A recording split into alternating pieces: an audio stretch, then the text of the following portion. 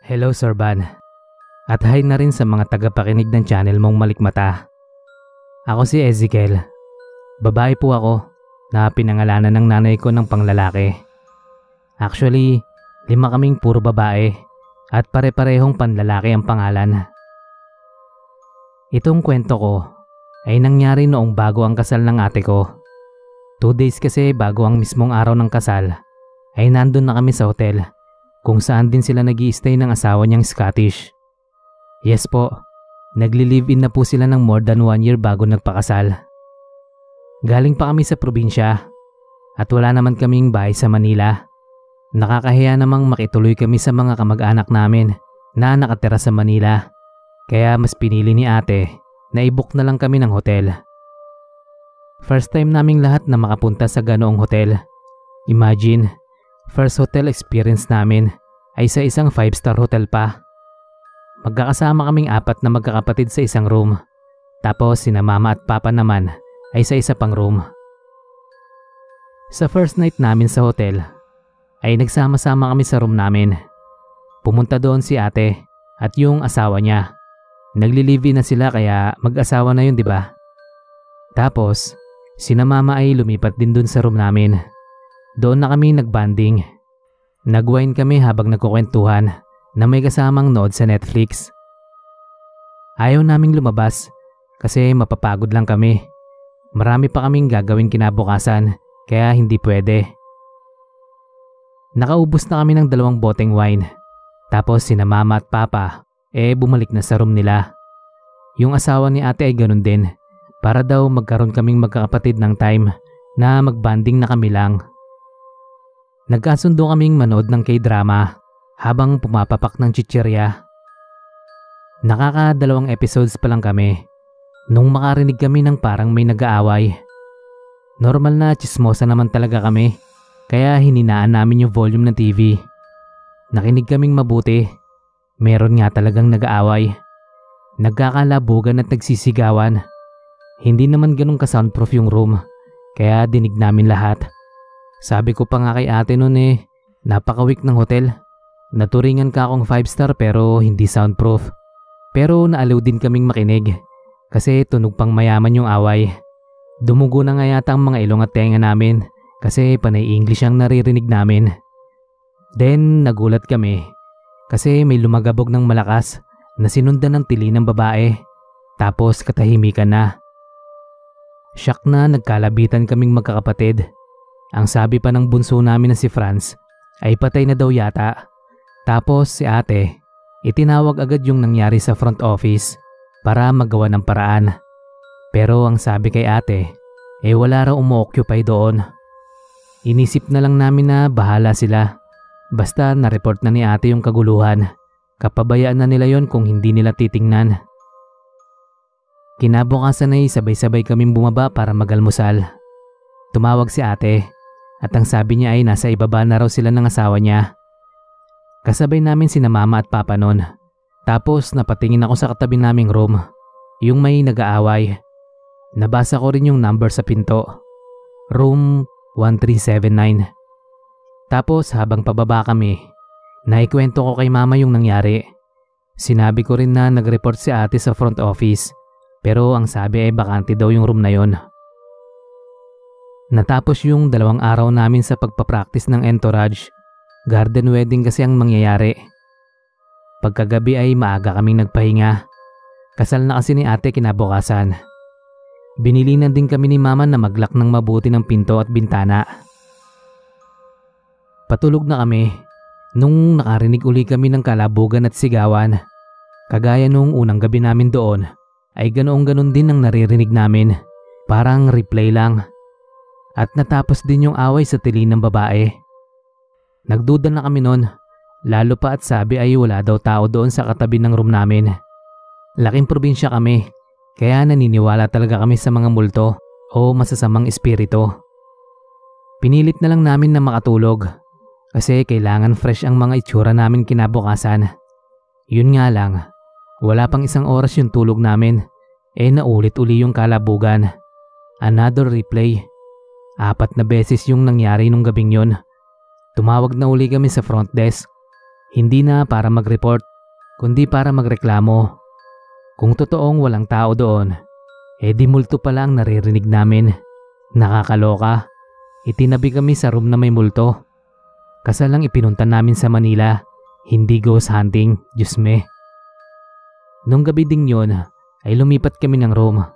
At syempre dahil sa puyat kaming lahat, dahil sa nangyari, puro kami nangangalumata nung inayusan na kami ng makeup artist. At yun nga, kinausap si ate ng manager. Ang sabi niya ay may namatay daw doon dati. Ikakasal na daw dapat yung babae. Pero pinatay ng mapapangasawa. Kasi nahuli na may kasamang iba. Isang gabi bago ang kasal nila. Hay nako, sobrang weak ng hotel. Walang soundproof. Tapos mahina pa ang security. Saka inconsistent ang staff. Bad experience. Given na lang talaga na maayos naming natapos ang kasal ni ate.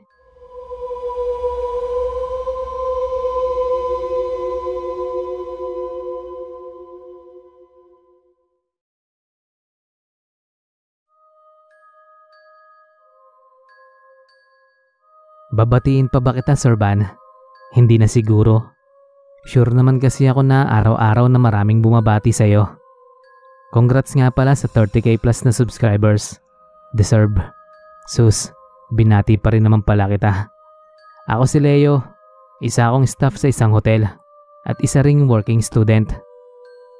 Bago lang ako dun sa hotel, wala pa ang isang buwan. Wala pa akong kaklose masyado at iilan pa lang din yung mga nakakausap ko. Medyo mayabang kasi yung iba kong katrabaho, lalo na yung mga matagal nang nagtatrabaho doon. Night shift nga pala ako, Sir Van. Kagaya ng mga pangkaraniwang araw, ay gumising ako ng alas 5 ng hapon. Kumain, naligo, at naghanda na papasok sa trabaho. Medyo malayo din yung hotel na pinagtatrabahuan ko doon sa inuupahan kong kwarto. Saka matraffic din. Kaya maaga akong umalis kahit alas 8 pa ang pasok ko. Pagdating ko sa hotel, ay diretso agad ako sa staff room. Pinalitan ko yung suot kong t-shirt ng uniform namin na kulay asul. Tapos napansin ko yung lalaki sa dulo. Yun ang unang beses na nakita ko siya doon. Kaya naisip ko na baka bago. Binati ko siya at nagpaalam na rin. Limang minuto na lang kasi at shift ko na. Mabilis na lumipas yung gabi. Wala namang bago sa pang-araw-araw kong gawain. Bahay, trabaho, bahay uli. Nasa probinsya kasi ang girlfriend ko na isang teacher, kaya wala rin akong kadate. Nung sumunod na gabi, ay nalate ako.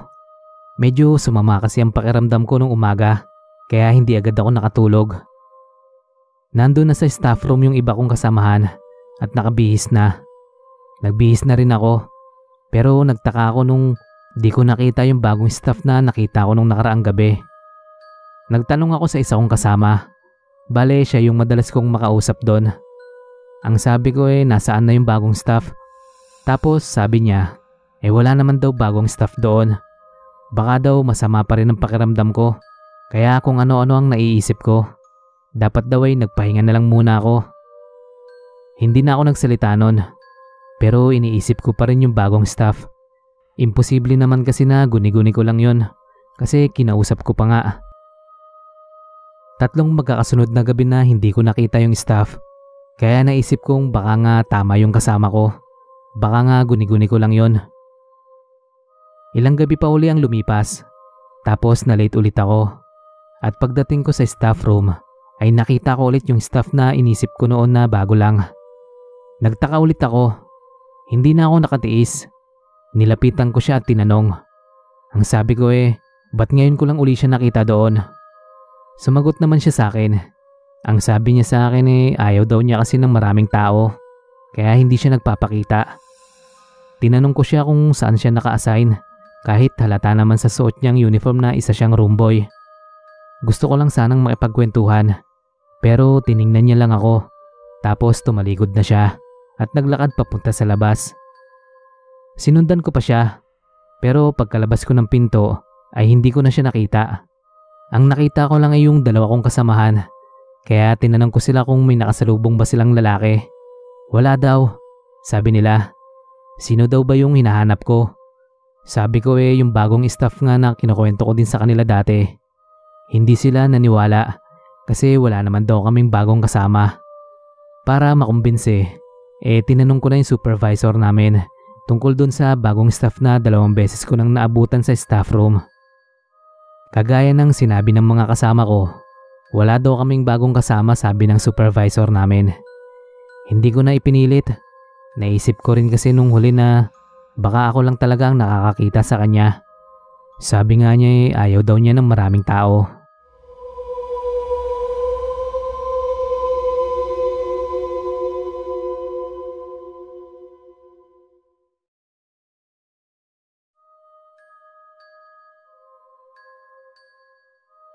Hi Sir Van. Ako po si Lizette at isa po akong OFW.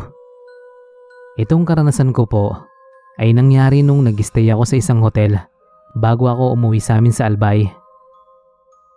Golden wedding anniversary po ng parents ko kaya 5 days bago ang mismong araw ay lumipad na ako pabalik sa Pilipinas. Bala kong magstay muna sa Manila ng 4 days para makapamili Saka plano ko ring isurprise sila mama at papa. Kaya nagbook ako ng 4 day stay sa isang hotel sa Manila. Walang ibang nakakaalam na darating ako, maliban sa ate ko.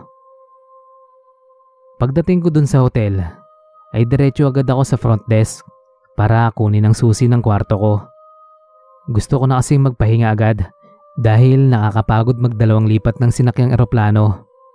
Gusto kong ubusin ang buong araw sa pahinga tapos kinabukasan na ako gagala para makipagkita sa ilang kaibigan. Naabutan ko sa information desk yung apat na babae pero ang mas napansin ko ay yung babae na nasa dulo. Iba kasi ang uniform niya tapos hindi rin siya pinapansin ng katabi niya. Tahimik lang din yung babae kaya medyo naawa ako. Tingin ko ay hindi siya tinatrato ng maayos ng tatlo niyang mga kasama. Kaya nung tumingin siya sa akin, ay ngumiti ako. Tapos pagtingin ko sa tatlo ay nakita kong nakatingin sila sa akin na parang takang-taka. Basta naawa talaga ako dun sa babaeng nasa dulo. Kaya sinimangutan ko yung tatlo. Sabay talikod nung nakuha ko na yung susi ng room ko. Kinabukasan ay maaga akong gumising. Naligo ako at nagbihis ng simpleng short at t-shirt. Sa labas na ako mag-aalmusal. Tapos tutuloy na ako sa mall para mamili. Pagkababa ko, ay dumaan muna ako sa information desk. Makakalimutin kasi ako minsan, kaya para sigurado na hindi ko makakalimutan yung susi, ay iniwan ko na muna yon sa information desk. Silang apat pa rin ang naka-duty sa information desk. At dahil nga naiinis ako dun sa tatlo, yung isa ang nilapitan ko at kinausap. Pero tinanong ako nung isa kung sino raw ang kausap ko. Itinuro ko yung kasama nila pero ang sabi ng tatlo ay wala raw silang ibang kasama doon. Tatlo lang daw talaga silang naka-duty sa information desk. Kinilabutan ako noon Sir Van. Kako dun sa tatlo ay may isa pa silang kasama. Iba lang ang uniform pero kagabi ko pa nakita na nandun. Natakot yung tatlo sa sinabi ko. Huwag ko raw silang takutin. Ba't ko naman sila tatakutin? Kaya nga kako ako naiinis sa kanilang tatlo. Kasi parang inaapi nila yung isa nilang kasama. Tinanong ako nung babaeng kumuha ng susi. Ano daw ang kulay ng uniform ng babaeng sinasabi ko? Ang sagot ko naman ay navy blue. Tapos sabi nila, lumang uniform daw yon ng staff ng hotel. Matagal na daw iba ang kulay ng uniform nila. At kung sino man daw yung babaeng nakikita ko, ay hindi daw nila yon kasama. Nung tingnan ko uli yung babae, ay wala na siya roon. Tumingin ako sa paligid pero wala talaga siya. Ewan ko, gusto ko lang namang isurprise ang parents ko pero kung ano-ano pa ang nakikita ko.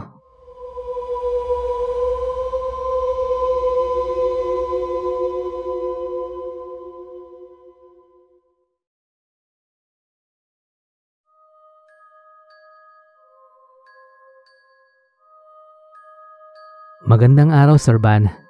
Ako po si Clinton at isa po akong roomboy sa isang hotel. Isang taon na akong nagtatrabaho bilang roomboy doon sa pinapasokan kong hotel. Pero bigla akong na-assign sa isang branch. Okay lang naman sa akin kasi mas convenient dahil isang sakay lang mula sa amin. Kaya lang naman ako nagtyaga doon sa unang branch na pinasukan ko dahil walang bakante dun sa malapit na branch. Alanganin ang shifting ng duty namin sa hotel at alas dos ng hapon hanggang alas 10 ng gabi ang shift ko. Isang sakay lang at hindi naman gaanong matrapik kapag ganong oras kaya hindi palaging nagmamadali. Pang ilang araw ko na yon sa bago akong pinapasukan. Bagong kapaligiran, bagong mga katrabaho, kaya bagong pakikisama din. Pero mababait naman yung mga kasama ko. Kaya hindi naman naging mahirap para sa akin na makapag-adjust sa bago kong workplace.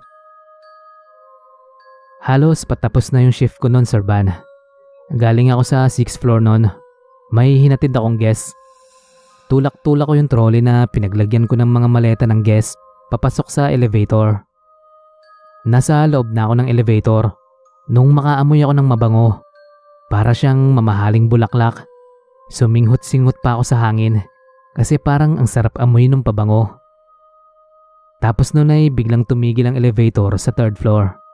Tapos tumunog at bumukas yung pinto. Pero nagtaka ako kasi wala namang pumasok. Naisip kong baka may guest lang na walang magawa at nang titrip. Pinindot ko yung button para isara ang pinto ng elevator. Amoy na amoy ko pa rin yung mabangong amoy ng bulaklak. Pero hindi ako sure kung tama nga na ganun ang naaamoy ko. Hindi ko talaga mapigilang sumingot-singot sa hangin. Tapos para akong antok na antok kaya pinikit ko yung mga mata ko. Nagulat lang ako nung tumunog ang bell ng elevator. Tapos bumukas ang pinto at pumasok yung dalawang guests na magjowa yata. Tatlo na kaming nasa loob ng elevator noon. Medyo umusog din ako sa gilid at hinila ko rin yung trolley ko para kung sakaling may sasakay na iba ay hindi ako makaabala. Napansin ko rin na nawala na yung mabangong amoy ng bulaklak. Mabilis ko din yung nakalimutan paglabas ko ng elevator. Tapos umuwi na rin ako agad pagkatapos ng shift ko. Isang linggo yata yung lumipas at mag-isa uli ako sa elevator. Tapos, ando na naman yung kakaibang amoy na nasisinghot ng ilong ko. Tapos bumukas uli ang elevator pero wala namang pumasok.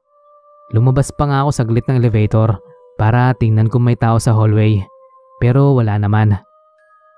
Nagsimula na rin akong kabahan at mag-isip ng kung ano-ano nun. Pero ayoko namang magtanong sa mga kasama ko. Baka din kasi nagkataon lang yon dahil pangalawang beses pa lang naman na nangyari yung ganon. Kagaya nung nauna, mabilis ko lang din ulit nakalimutan yon kasi hindi na rin naulit. Hanggang sa isang gabi, nag-iisa lang ulit ako sa elevator. Naamoy ko ulit yung amoy bulaklak. Sabi ko nga sa sarili ko noon, kapag bumukas ulit yung pinto ng elevator, at wala pa ring papasok o sasakay, tatakbo na ako. Di baling masabihan ng duwag kesa naman manigas ako sa takot sa loob ng elevator. Pero kakaiba ang gabing yon kasi nung bumukas ang pinto ay may pumasok na babae. Sinasabi ko sa iyo Sir Van, talagang na-starstruck ako dun sa babae. Gandang ganda kasi ako sa kanya. Tapos naamoy ko din sa kanya yung pabango na amoy ng sariwang bulaklak kaya ibig sabihin nun ay siya yung dalawang beses nang nang trip sa akin. Antok na antok ulit ako dahil sa amoy ng pabango niya. Yun bang pakiramdam na para akong hinihele? Basta parang ang sarap matulog. Sumandal ako sa dingding ng elevator at pumikit. Pinilit kong idilat yung mga mata ko kasi gusto kong makita yung babae. Baka lang mawala ang antok ko kapag nakatingin ako sa kanya. Tapos ang putya, Muntik na akong tumalo nung nakita ko siyang nakatingin sa akin. Tapos kinindatan niya pa ako sabay ngiti. Gusto kong mag-assume na may gusto sa akin yung babae. Pero sino ba naman ako? Average look lang din pati ako. Kahit antok na antok ako noon, ay tinanong ko pa siya kung kailan ba siya nag-check-in doon. Kasi isang buwan na rin mahigit simula nung una kong naamoy ang pabango niya.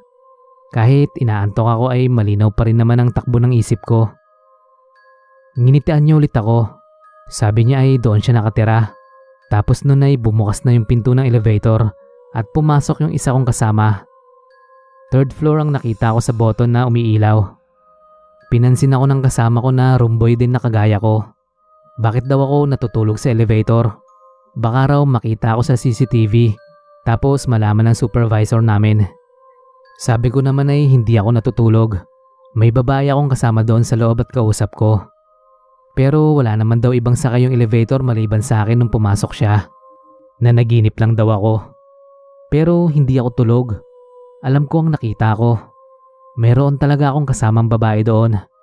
Baka lumabas na nung pumasok yung kasama ko. Pero wala daw talaga. Siya daw ang gising at ako ang tulog. Kaya wag ko na raw ipilit. Napaisip ako noon. Naulit pa ulit yung bigla na lang akong nakakaamoy ng bulaklak kapag mag-isa lang ako sa elevator at bumubukas ang pinto pero wala namang pumapasok. Kapag nangyayari yon, ay ramdam ko rin na may kasama ako sa loob ng elevator at umaalis lang kapag may ibang sumasakay. Natakot ako nung una pero paunti-unti na rin akong nasanay. Hanggat di naman niya ako ginagawa ng masama ay walang problema sa akin kung gusto niya akong sabayan. Paminsan-minsan ay sinusubukan ko rin siyang kausapin kasi alam kong nandun lang siya sa tabi ko at nakatingin sa akin na kagaya ng dati. Wala akong nakukuhang sagot pero sapat ng patunay yung pagtindi ng amoy ng bulaklak sa loob ng elevator kapag nag-iisa ako. Salamat sa pagbabasa, Clinton.